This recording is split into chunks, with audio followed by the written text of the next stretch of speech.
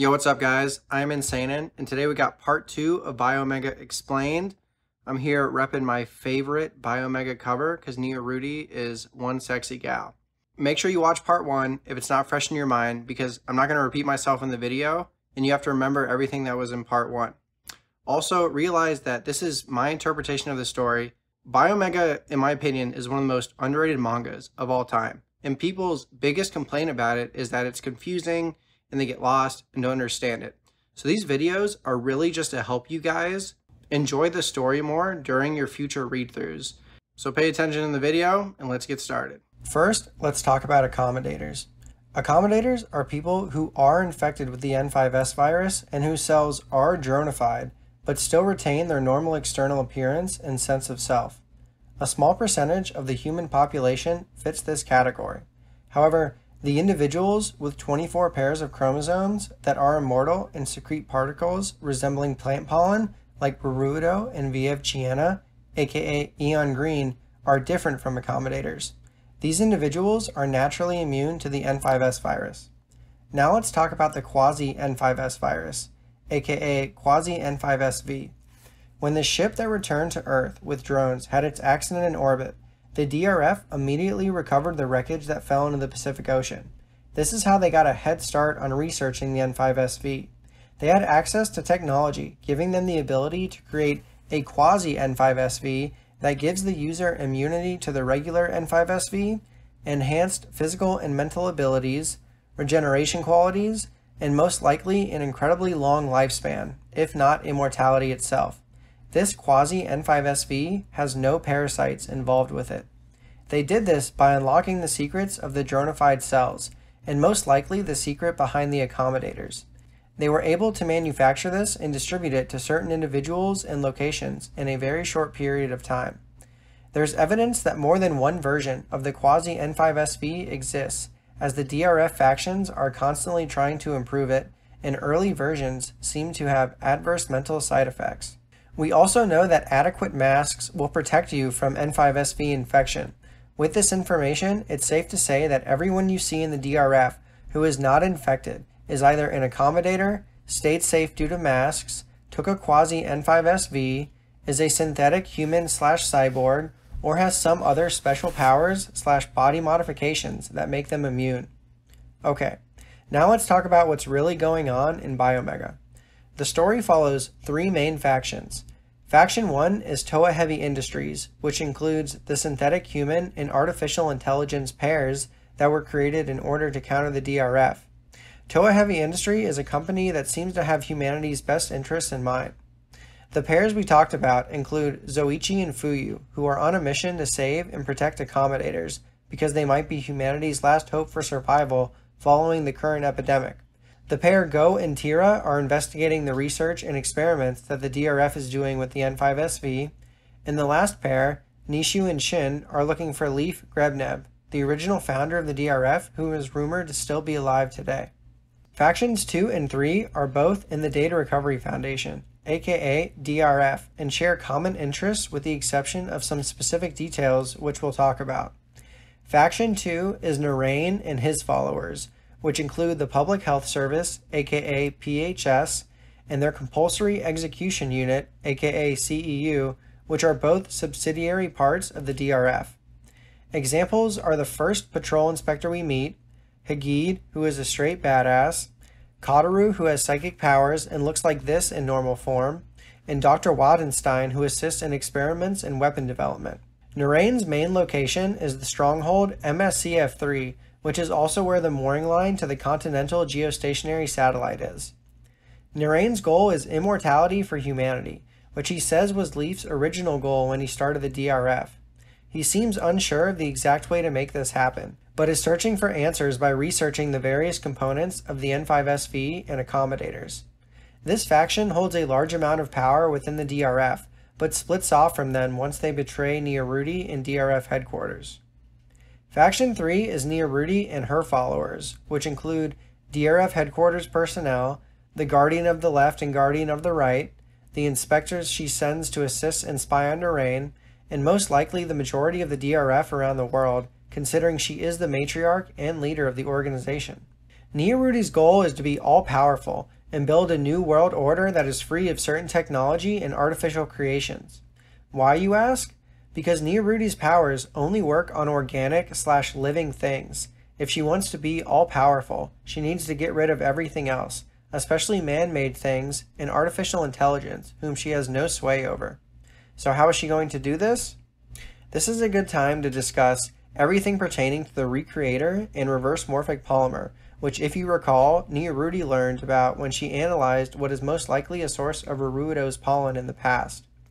The reverse morphic polymer is the polymer forming the particles of the pollen that the 24 chromosome pair immortals discharge, and in all likelihood is also the polymer forming the particles of the ovules created by the parasites that caused the drone epidemic, since the drones are used as a form of medium and catalyst for the polymer. We see Neoruti use this knowledge to her advantage to spread the mass that it creates all over the world. The reverse morphic polymer reacts to non-living materials and absorbs them as it reconfigures their base matter. It converts everything it absorbs and rewrites it in accordance with a code. Once the ovules created by the parasites causing the drone epidemic within the reverse morphic polymer mass are pollinated, a plant called the recreator is born that uses the information of everything that has been absorbed by the polymer and creates whatever the host desires with it, or in other words, grants someone's wish. I believe Neoruti's intentions are to have the reverse morphic polymer absorb every non-living thing on Earth and then make a wish that gets rid of it, creating a new world where everything that exists is subject to her powers. Now, it's obvious that the exact mechanics behind this phenomenon are shrouded in mystery, even to Neoruti, as her wish isn't the one granted when the Recreator is born, but we'll get to that later.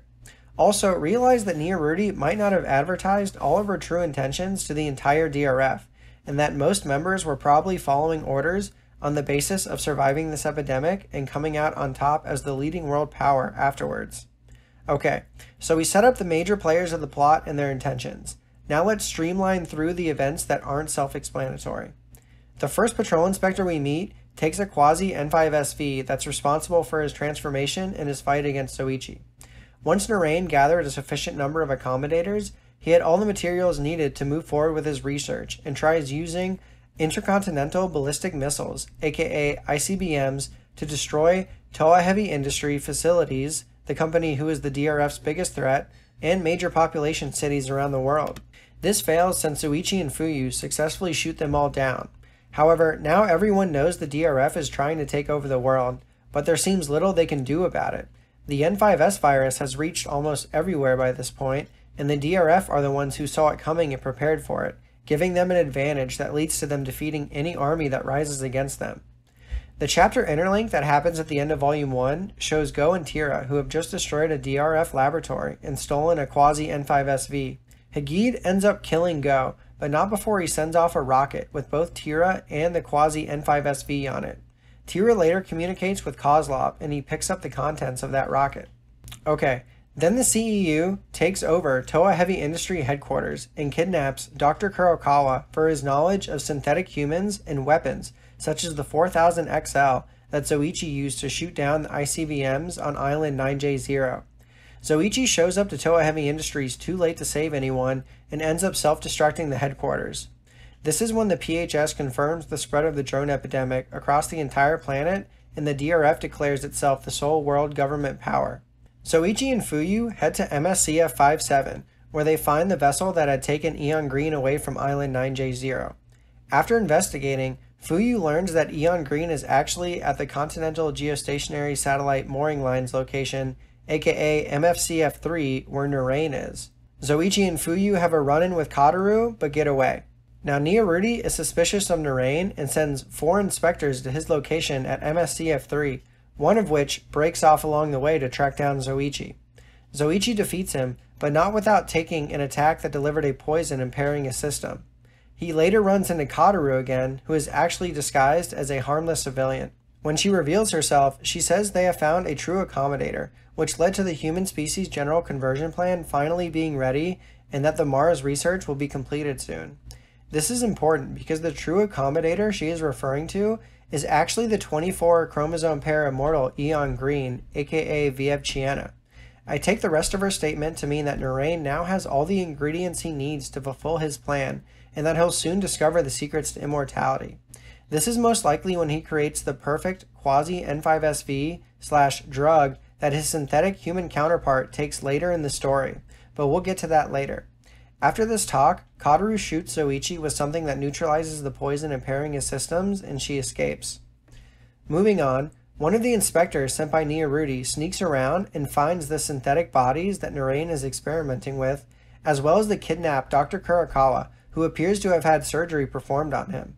They most likely brainwashed him to help them with their synthetic human and weapon development. The inspector on Niyarudi's side informs them that this type of research is not allowed, but Narain knocks him out. We see that Narain has killed the other two inspectors that Niyarudi sent, and Hagid kills the one who was sneaking around in a duel soon after. We see DRF headquarters learn about these events, and Niyarudi finds out about Narain's betrayal. To stop Narain from having any more time to reach his goals, Niyarudi puts her plan into action and starts spreading the reverse morphic polymer all over the world. We see this firsthand in the Ajitsa district when Nishu and company meet up with Doc and fight against the DRF forces. Niyarudi then starts heading to MSCF3 to deal with Narain. Once Narain sees that Niyarudi has started her plan, he prepares for battle and it doesn't take long for these two factions to start going at it. Dr. Wildenstein whips out an accelerator weapon that uses brain waves that he completed with Dr. Kurokawa's help, but it's a giant screw up and fails in a pretty humorous fashion. The white angel like things and mechas on the Niyarudi's side are most likely machines with AI or are controlled by people inside or remotely somewhere else.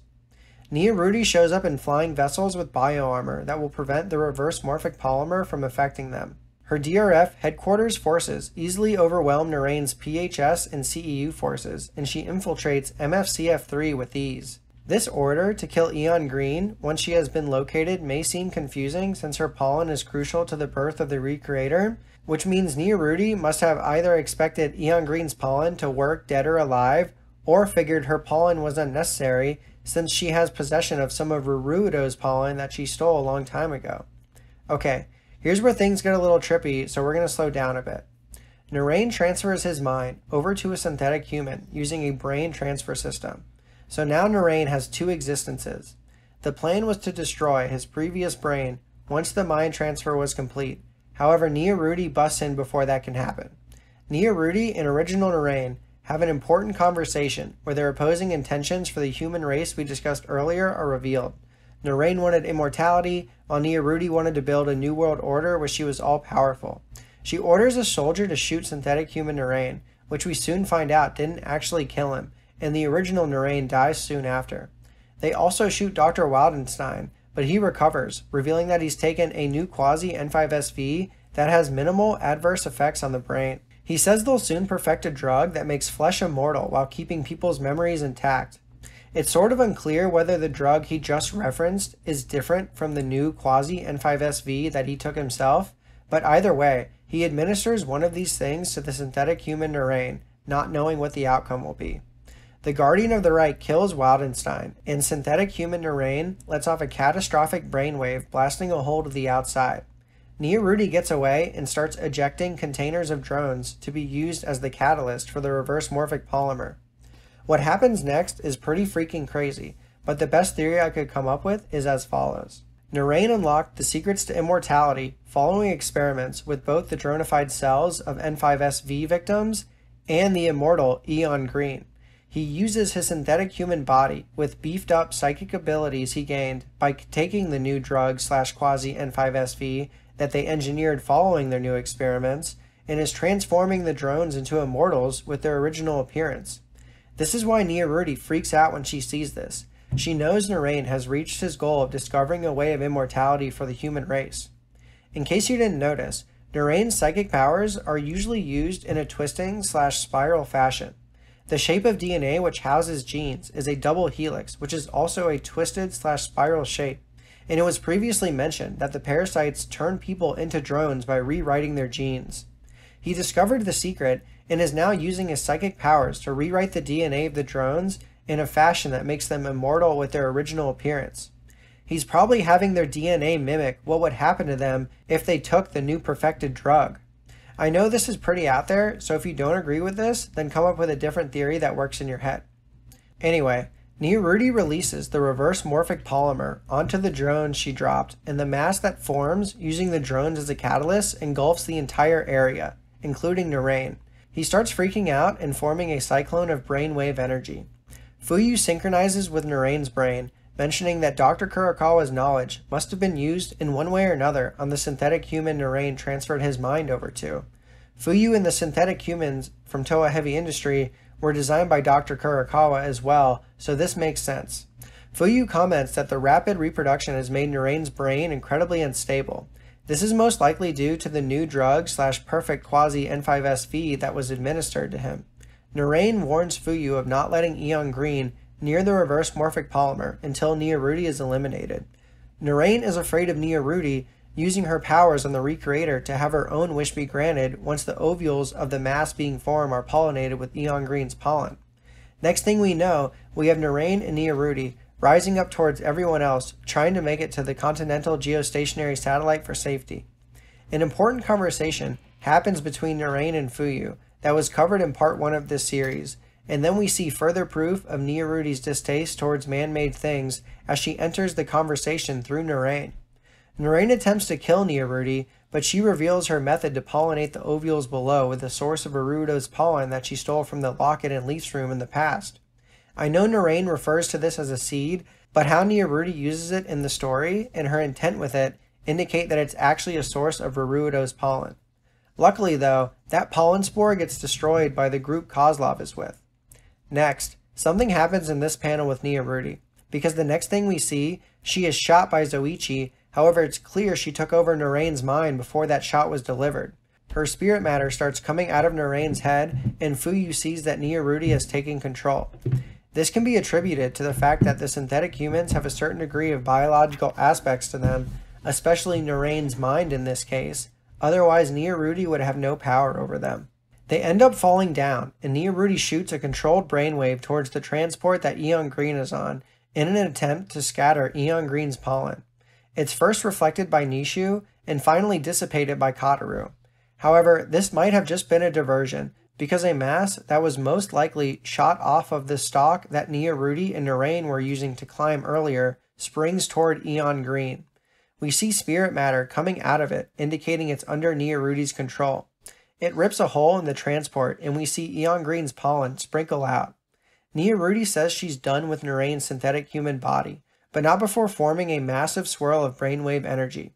As she leaves Narain's mind, if you look closely, you can tell that the direction of the brainwaves she's formed actually flips upside down.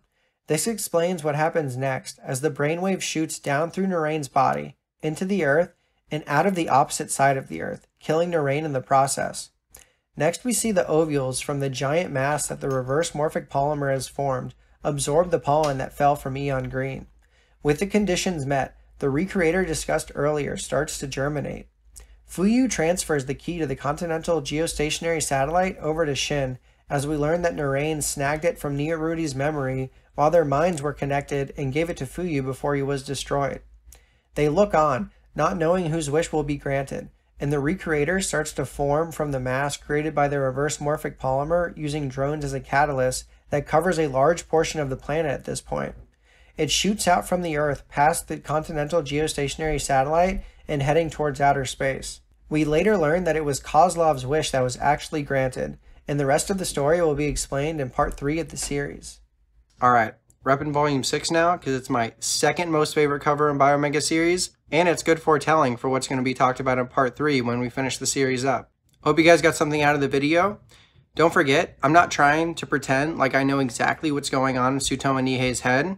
These videos are purely just to help you guys understand the story and enjoy it more. And if you don't believe every opinion and theory I have, hopefully these can help you come to your own theories and opinions for your own interpretation of the story. Hope you guys enjoyed the video. Don't forget to like, comment, and subscribe if you're new. And stay tall, heavy, tough. I'll see you next time. Peace.